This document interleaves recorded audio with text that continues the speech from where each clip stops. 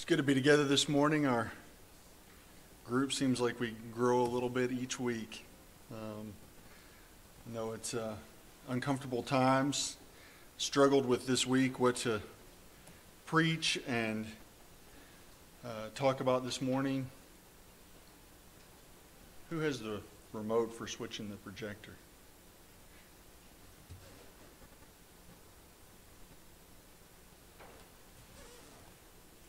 I don't see it. You have it? And uh, ultimately settled on, settled, that sounds horrible, decided on uh, just focusing our attention around the cross. Um, with all the uncertainty in the world that's going on, whether it's you know, the you know, different things Gavin prayed about in his prayer this morning. Um, Okay, okay. The various things Gavin prayed about this morning, I know, we, if you watch the news, we don't have news, although we have a subscription to Hulu, and I think they're now trying to force the news on us with uh, live streaming news, but we, we don't see much news. So I don't get to see a lot of that stuff. I see it when I'm in the airport, and uh, usually makes me angry. But um, if you watch much news, then you may be like some of the other people that are around you and wondering what's going on, what, what, what what's going to happen in the world with all these various things that are going on. And so I thought this morning maybe we would just focus our attention not on what the media keeps throwing at us, not on what may be on our minds on the other six days of the week, we'll keep our attention on Jesus. Because that's where it needs to be anyway. The more we can look at Jesus, the more we can focus on Jesus, the more we can think about what Jesus has done for us, how much God loves us, what wonderful things God has in store for us, both now and especially in eternity. The more we can do that, the more it'll help us to get through whatever else is being thrown at us in all these other facets and areas of life because he's, he's, he's the key. He's the key to our hope. He's the key to our strength. He's the key to our wisdom. He's the key to all of it. And so a couple months ago, I talked about the insignificance of man, and we talked a little bit about song number 157, At the Cross. That's why it's in quotation marks, because I didn't come up with the title, Isaac Watts did. Uh, many of you know Isaac Watts, one of my favorite songwriters. I don't know whether he's my favorite or not. Dawn used to make fun of me. She said, You've got a lot of favorites. She's right, whether it's songs or Bible verses or whatever. And I think that's okay. I can have a lot of favorites. I don't, I, maybe I don't know what the word favorite means. Um, maybe that's my mistake, but I have a lot of things that I really treasure, whether it's songs or passages. So I wanted to think about the words of this song a little bit this morning, and I'm going to put the words for each of the verses up. And then we're going to look at some scriptures that help to focus our attention on that. And it's one of the things I've said to you before about Isaac Watts that I think made him such a genius. Uh, he, he's not a new songwriter, he wrote back in the 1700s.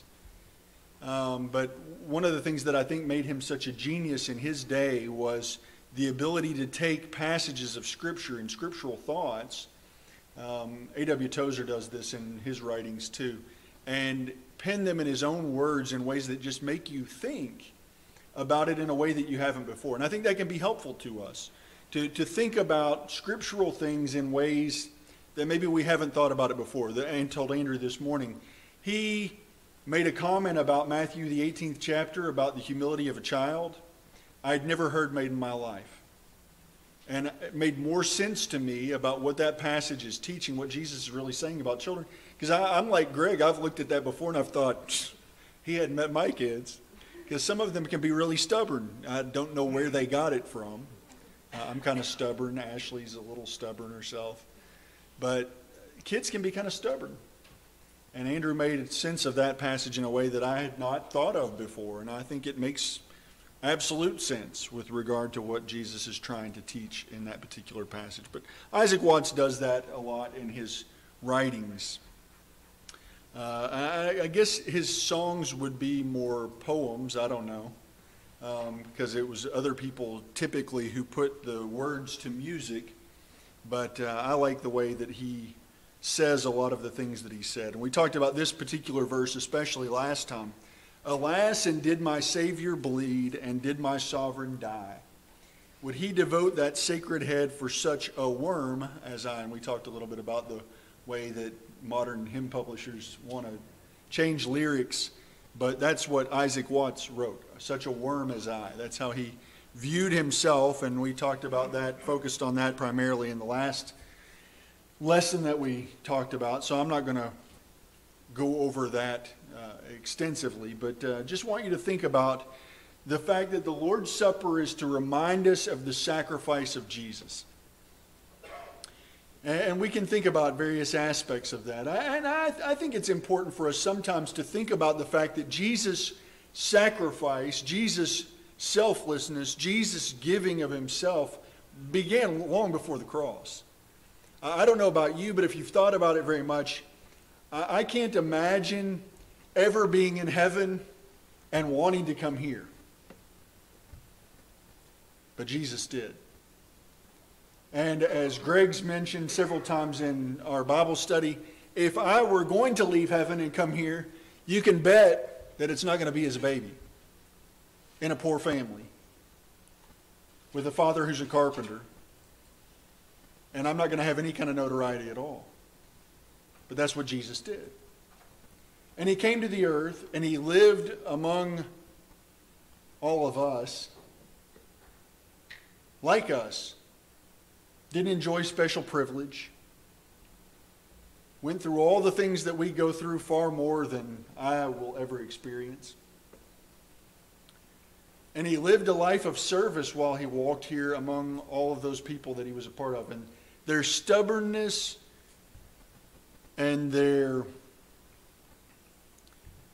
hatred and their bigotry, Jesus patiently dealt with all of that and then ultimately was willing to go to the cross. The Lord's Supper reminds us of the fact that Jesus' sacrifice is the only means, only means. It's important in the world that we live in where re- re- religiousness, religiosity, I don't know, whatever word you want to use to describe that, seems to still be a fairly big thing. But uh, people mean a lot of different things by that. And they seem to think that as long as you believe in some kind of higher power, that that's all that it takes. To have a relationship with that higher power and to have the hope of some kind of uh, eternal future that's going to be a blessing. But the Bible teaches us that Jesus Christ is the only means of forgiveness. And Jesus' sacrifice on the cross is the only way that we could be forgiven. And that should remind us, as we talked about last week, and as Isaac Watts pens in his first verse, of our own unworthiness. Because if you look at Romans chapter 5 with me for a moment, and I know I've used this passage, I've been here 12 and a half years now. I know I've used this passage probably hundreds of times, but there is just no other passage that I think says it quite as succinctly and quite as clearly as this one does. When we think about how unworthy we are and what, a, what an amazing gift Jesus' death on the cross was for us, this verse for me sums it up. For when we were still, verse 6, without strength, in due time Christ died for the ungodly. For scarcely for a righteous man will one die, yet perhaps for a good man someone would even dare to die. But God demonstrates his own love toward us in that while we were still sinners, Christ died for us. Much more then, having now been justified by his blood, we shall be saved from wrath through him. For if when we were enemies, we were reconciled to God through the death of his Son, how much more, having been reconciled, we shall be saved by his life. Jesus didn't die for the lovable. Most of us can think of someone that we would be willing to die for. And in most of our cases, I'd almost be willing to say in every one of our cases, it would be somebody that we like. That, that's the kind of people we'd be willing to die for. And that's essentially what Paul says here. And there might be some other people who are out there that we consider good people that we might be willing to, in the heat of the moment, step into battle for them and, and, and die for them. But that's not who Jesus came to die for. He didn't come to die for the spiritually elite of his age, although they were mistaken in the, what they understood to be spiritual eliteness. Jesus didn't come to die for the people who were already perfect because there were none. He came ultimately to die not just for the people like his apostles who followed him, and not just for good people who might have been on the fringes who were walking around with him. He came to die for the Pharisees and the chief priests and the elders and the scribes who were all inciting the crowds at his crucifixion to call for his death. That's who he came to die for. He came to die for everybody the, the lovable, the unlovable, the downright hateable. Jesus came to die for all of them. That's an amazing gift. Where, where are you in that group? Well, most of us here this morning are people who have recognized his authority and have submitted ourselves to him. But I didn't do that all my life. I've, I've not always been like I am now. And I pray to God I won't be like I am now in 20 years if I'm still alive. Jesus came to die for that high schooler who was sneaking out of his window, bedroom window at night, to go to get into all kind of trouble. Jesus came to die for the college student who got drunk at college parties, fell down a flight of steps, ended up in, a, ended up in the hospital. Jesus came to die for all of those people who have done all manner of wicked things, sinful things. Against him, against other people, Jesus came to die for them. Jesus died for a worm like me. That's what Isaac Watts said. And hopefully, as we sing that song, we can think about the greatness of that gift. Was it for crimes that I have done he groaned upon the tree? Amazing pity, grace unknown, and love beyond degree, verse 2 says. In Galatians chapter 3, a, a fascinating chapter. If you get a chance to study that chapter a little bit more, we're just going to look at a couple verses this morning. But, but do it because the ultimate point of that chapter is, and he, he makes the argument on the basis of the singularity or plurality of a word seed. He says, It was not unto seeds as of many, but to seed one. And the, po- the whole point of Galatians 3 is that Jesus Christ is the sole inheritor of everything our Father has. You say, well, where does that leave us? Well, the, the point of Galatians 3 is you better be in Him, in Him, if you want to share in the inheritance. If you want to be joint heirs with Him, you have to be in Him. And He tells us how to do that through faith and, and submission to the will of God. But in verse 10, he says this For as many as are of the works of the law are under the curse. For it is written, Cursed is everyone who does not continue in all things which are written in the book of the law to do them. But that no one is justified by the law in the sight of God is evident, for he says, The just shall live by faith. Yet the law is not of faith, but the man who does them shall live by them.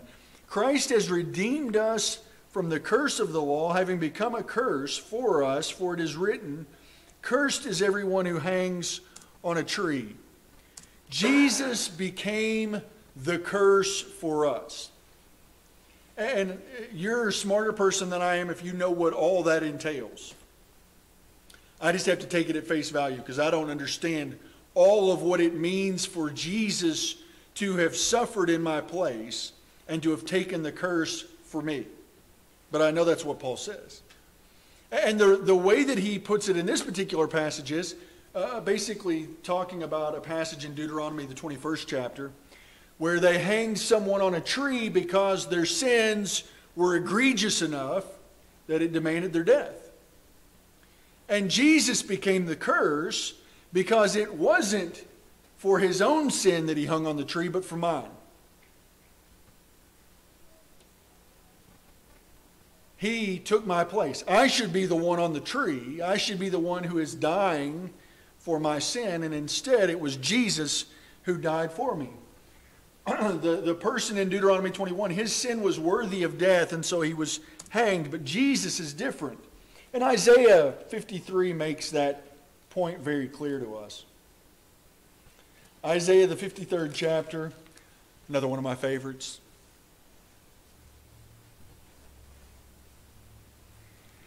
Says, Surely, verse 4, he has borne our griefs and carried our sorrows. Yet we esteemed him stricken, smitten by God, and afflicted. But he was wounded for our transgressions, he was bruised for our iniquities. The chastisement for our peace was upon him, and by his stripes we are healed. All we, like sheep, have gone astray. We have turned every one to his own way, and the Lord has laid on him the iniquity of us all. Uh, I find it interesting in verse 4 that, they, uh, that the passage says, We esteemed him stricken, smitten by God, and afflicted. Psalm 22 makes some of the same points. And incidentally, when you look at the gospel accounts of the crucifixion, that's essentially what the people were saying. If you were really the Son of God, if you were really as great as you say you are, you wouldn't be hanging there on that cross. Because the only people who die the way that you die are people who deserve it. And people who have no favor in the sight of God. Can you imagine having the power that Jesus had, has? Can't really talk about it past tense, can I? and hearing all of the things that the people were saying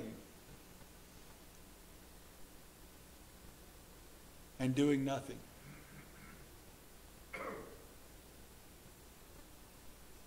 He did that because he loves us.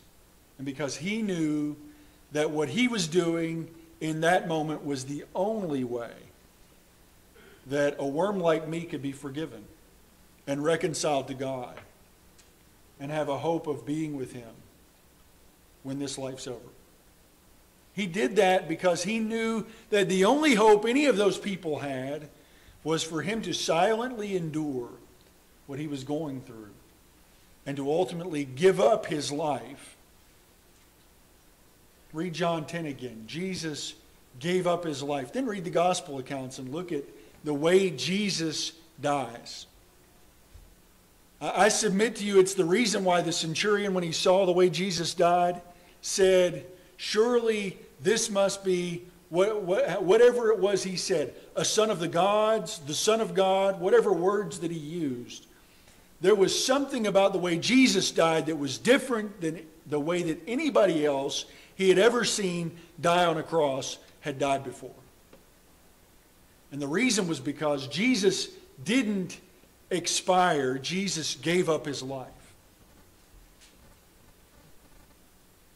And he did that for my sins, and he did that for your sins, and he did that for the sins anybody you can name. I don't care how grotesque and ugly they are. Jesus gave up his life for their well being so that ultimately they could have the hope of being with him and being with the Father when this life is over. the scourging, I don't know how much you've read, I don't know what kind of movies you've seen. The, the Romans weren't the ones who invented crucifixion, but they seemingly perfected it. And every single thing that led up to it was designed to inflict as much pain as possible without killing the victim. And the same thing was true of the crucifixion. Jesus experienced every lash, all the nails, every surge of pain that would flow through his every nerve and fiber in his body with every breath he forced himself to take. Jesus did that for you. And he did that for me so that we could be reconciled to God. This verse is just magnificent. well might the sun in darkness hide and shut his glories in.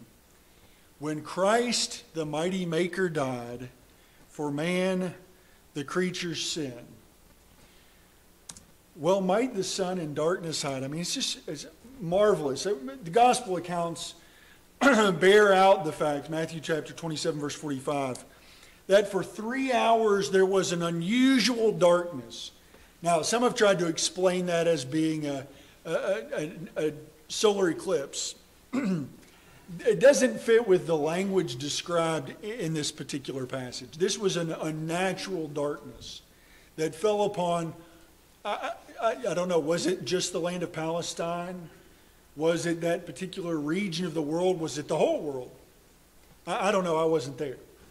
But it was an unnatural darkness that fell on, the, the uh, on at least the territory where the writers were and where Jesus was for about three hours. And Isaac Watts writes in a way that makes it sound like, of course it would. Uh, of course, the sun would hide itself in an unnatural way when the Son of God is dying on the cross, when the Creator of the universe is dying on the cross. Of course it would. Uh, it just makes sense to him that the sun would do such a thing.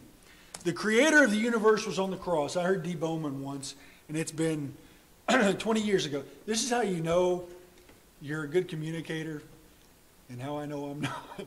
when somebody 20 years later could tell you exactly what you said. Dee Bowman said one time when I was, I don't even remember where I heard him preach, said that the creator of the universe was hanged, and I'm paraphrasing, on a tree that he himself had made by people who had made him, who he had made, and allowed them to put him to death. The creator of everything hung on that cross.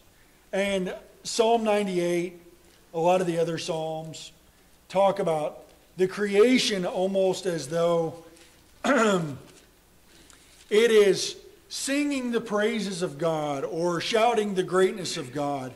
And there's some sense in which that's true. I think Psalm 19 is perhaps one of my favorite with regard to this, but I didn't use it this morning. Just because it talks about the fact that their voice goes out everywhere and yet there's nothing heard. Because there's really no voice, right? I mean, we can look at the world that's around us and it does speak about the greatness of God, but it doesn't really speak. Here in this particular passage in Psalm 98, verse 7 says, as it talk, after it's talked about the fact that we should break forth in praise and sing praises to God and rejoice. And, and in this passage talks about with the harp and the sound of the psalm and trumpets and the sound of the horn in verse 6. Then he says in verse 7, let the sea roar and all its fullness, the world and those who dwell in it. Let the rivers clap their hands. Let the hills be joyful together before the Lord. For he is coming to judge the earth. With righteousness he shall judge the world and the peoples with equity. All of the creation shouts about the greatness of God. And the sun on this particular occasion, as the creator of the universe was hanging there, bowed its head. I just want you to think about for a moment in, the, in view of all the craziness that's going on in our world. the, the sun didn't, I mean, this, the sun doesn't have any will of its own, so it's not like the sun looked at, God hid the sun. But I want you to think about for a moment, with all the craziness that we, we have going on around us, the God who created the sun and who could cause the sun in an unnatural way to hide its face for three hours. I mean, the, the sun's a, a huge object. We talked about in the last lesson, not even one of the biggest stars out there, kind of average. The God who can cause that to come into being and can cause it to be darkened. You think there's anything too hard for him? Anything too difficult? It doesn't matter what we're going through in life, what we're struggling with. And I'm not saying it just all goes away when you think, well, God's just great big and he can take care of all of it. It doesn't all just go away. But we just need to keep reminding ourselves of the fact that God is there. God gave his son to die on the cross. God caused the son to respond in mourning at the death of his, his sun on the cross. A God who can do all of that, is there anything really that you're facing that he can't handle? Jesus' death reminds us of how far God is willing to go to take care of us. And if he's willing to go that far to take care of us, what makes us think he's going to let us down now? What, what makes us think that that's this new virus that's come out or this latest wave of difficulty that's come out is going to be greater than he is, going to be something he can't handle. More importantly, something he hadn't, hasn't foreseen. Oh, caught him by surprise. God saw this coming. The, the reality is, he saw it coming before the world ever existed. Can you imagine that? Can you imagine being outside of time and seeing 2020 in the same way you could see 2020 BC or 4000 BC? God knew this was coming. And, and He hasn't told me but I know God's already been dealing with it before we even knew there was a problem. Now, how is He going to deal with it? I don't know. How long is it going to last? I don't know. But God is dealing with the problem before it was ever a problem. Before we ever knew there was a problem, God was already at work behind the scenes working on a solution. And I know that because before man ever existed, God had already foreseen and already foreknew and had already predetermined that his son was going to come to the earth and die for our sins. If God can take care of a problem that big, he can take care of coronavirus or anything else that we face. Isaac Watts finishes a lot of his songs, and I know you've heard me say this before, in a, in a way that I love. He, he looks at the situation and he thinks about the grandeur of God and the wonderment of what God has done for us. And he thinks, what do I have to give? What, what, what, can I give him that's of any value? Well, what can I give him that he needs? And the answer is nothing. So, so why bother giving anything, right? Now, that's not how Isaac Watts viewed it. Unlike the sun that was in mourning, Isaac Watts, he, he certainly would have mourned what Jesus had to go through. And more and more importantly, the sin that caused Jesus to have to go through it. But instead of just responding with mourning, he responded by saying, This is all I've got. You, you've redeemed this worthless soul, this worm, from sin. And I don't have anything to give you of any value, of any worth whatsoever. So I give you myself. I, I will dedicate the rest of my life to doing whatever I can to serve you and to show how much I love you and how much I appreciate the gift that you've given to me. And that reminds me of Paul. 1 Corinthians, the 15th chapter, 1 Timothy chapter 1, uh, all these different passages, Paul talks about how unworthy he was to be saved, period. I, am the chief of sinners, he would say in 1 Timothy chapter 1. To, to be saved in general, Paul viewed himself as not, not worthy of such a cause. But then the fact that not only was he saved, but he was appointed as an apostle. Paul looked at that and thought, that's just unbelievable to me. I mean, it really was. We look at Paul and we, we see this giant of faith, and he was. And we think, what a great man. Paul looked at himself and thought, how have I been so blessed? What should I do? Well, there's nothing I can give except me.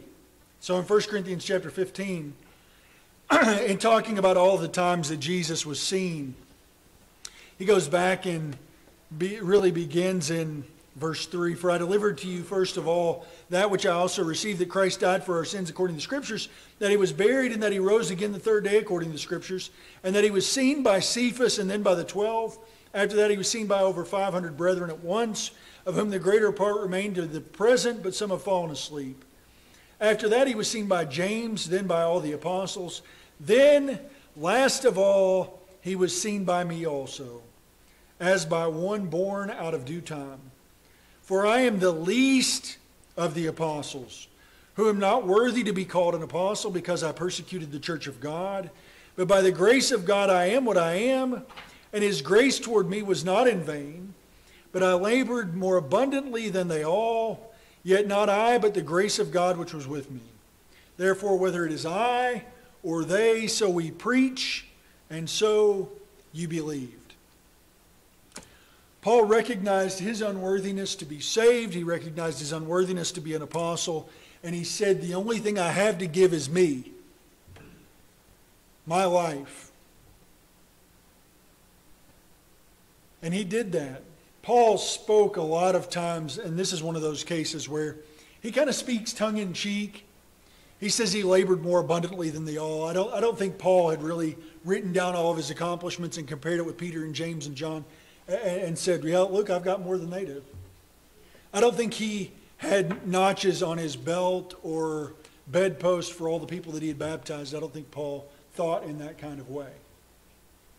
So he's speaking kind of tongue in cheek here and just talking about the fact that I am not worthy to be who I am, and all I can do is labor as hard as I can, as diligently as I can, in wherever I am for as long as I'm there. And that's what Paul did. I don't think any of us would deny that. The, the writings, his travels, what he went through. I, I, I marvel in the first preaching journey.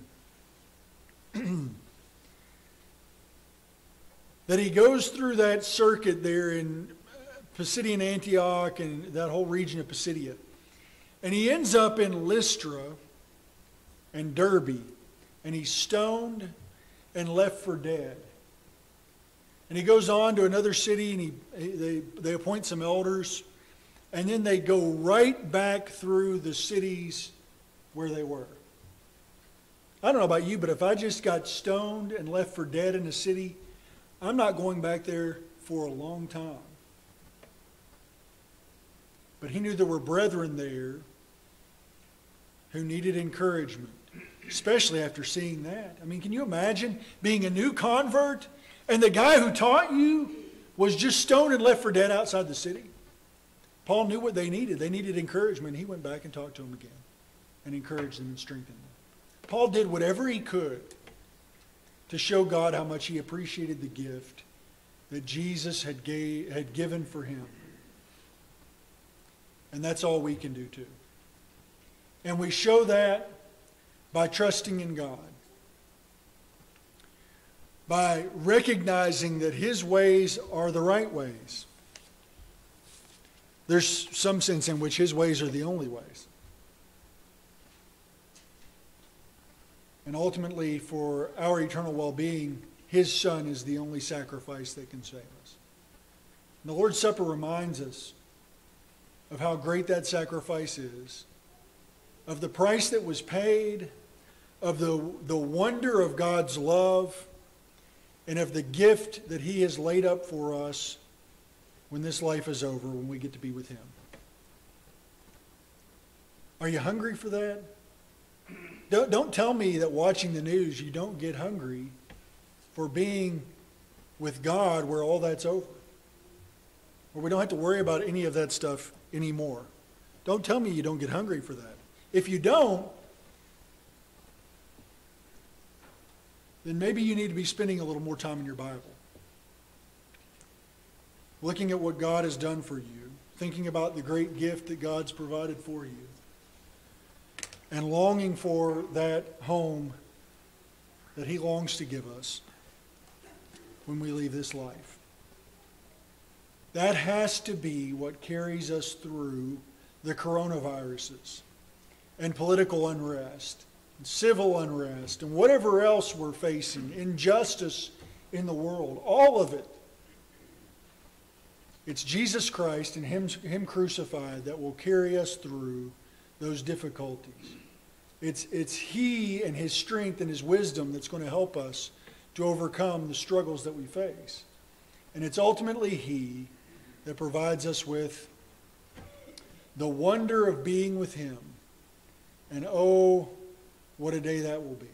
If you're here this morning and subject to the invitation in any way, if we can help you in rendering obedience to the gospel, in coming to recognize what great thing Jesus has done for you, and beginning to, as Isaac Watts, just throw up your hands and say, This is all I've got to give, but I give it to you. If you want to begin that journey this morning, we want to help you. And if we can help you as a Christian in some other way this morning, please come and let us know while together we stand and sing.